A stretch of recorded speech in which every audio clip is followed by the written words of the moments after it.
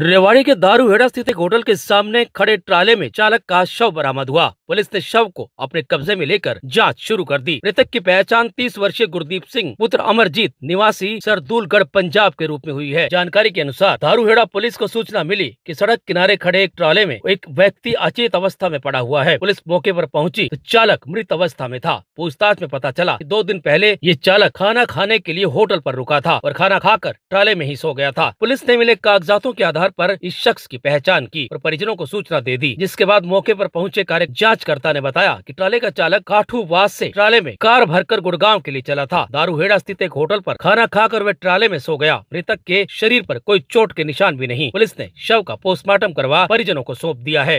ये उस ट्रक का चालक है और ये उसके अंदर ही लेट के मृत अवस्था में हमें पब्लिक से सूचना प्राप्त हुई ट्रक में एक आदमी मृत अवस्था में ये पंजाब का रहने वाला है गुड्डी मनोहर मंदिर। इसकी एक सौ चौहत्तर कार्रवाई है पोस्टमार्टम करवाए नाश खरीदने का वाले करके रेवाड़ी से Rajkumar. You are watching news India live TV subscribe our channel for latest news and update and don't forget to press bell icon for latest notification